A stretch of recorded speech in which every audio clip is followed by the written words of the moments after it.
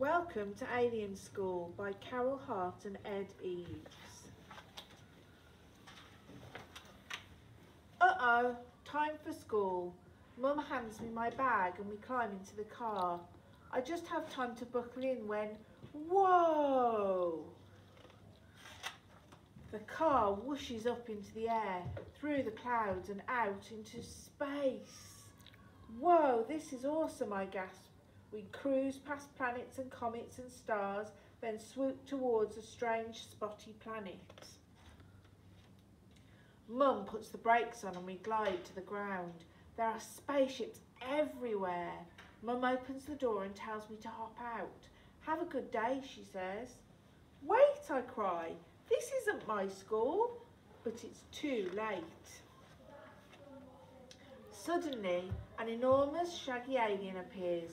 What's your name? It growls. I'm Albie, I tremble. Please don't eat me. Oh, I never eat my friends, grins the alien. I'm Noggle. Come on, or we'll be late. Our teacher is called Mr. Clark. He looks very strange indeed. Welcome to Alien School, he gurgles. Everyone is staring at me. I try to blend in, but Mr. Clark asks the class to guess what kind of creature I am. It's so embarrassing. Is it an oggleblump? asks a pink alien. No, it's a Durkle, says a long-nosed yellow creature. Actually, says Mr. Clark, Albie is a human from planet Earth. But don't worry, I'm sure he's very friendly and almost certainly won't bite. First, we have to do spellings. Spell bazoozle squark, says Mr. Clark. Spell flobbity obbity pom pom. Spell tog tog denoggle plump. This is hopeless, I can't spell anything. Don't worry, says Noggle, it's always hard at first. Next, we have to do sums. Now, I love maths, but space sums are impossible. I can't even recognise the numbers. Just then, a loud alarm starts to ring. Phew! Lunchtime, shouts Noggle, and we all rush for the door. The canteen is packed with the strangest creatures I have ever seen. Noggle pushes a button on a green nozzle and spurk! Something lands on my plate. Ew! Mmm, Space Getty, my favourite, grins Noggle.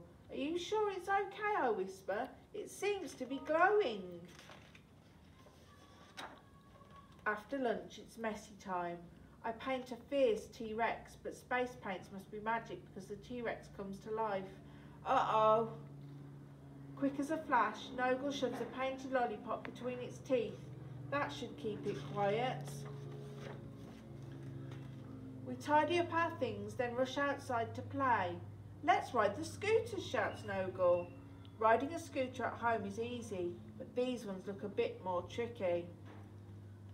Nigel zooms off. Just pu push the red button and hold on tight, he says. But there are loads of buttons and they are all red. I don't know which one to press, so I try them all. And whoa! The scooter flips and twists and I tumble through the sky. Help! I'm heading for outer space. Suddenly, something grabs me around the waist. It's Mr. Clark's long arms. I'm saved. It looks like you could do with some scooter lessons, he laughs. Noggle rushes up and gives me a big hug. Sorry, Albie, he mumbles. I thought you had ridden one before. That's okay, I say. It was amazing. All too soon, it's lunchtime. I rush up to Mum. Can Noggle come for tea, I ask. Mum smiles at my new friend. That would be lovely, she says. But Albie has swimming tonight. See you tomorrow then, I sigh. Have fun at the pool, calls Noble. Uh-oh. The end.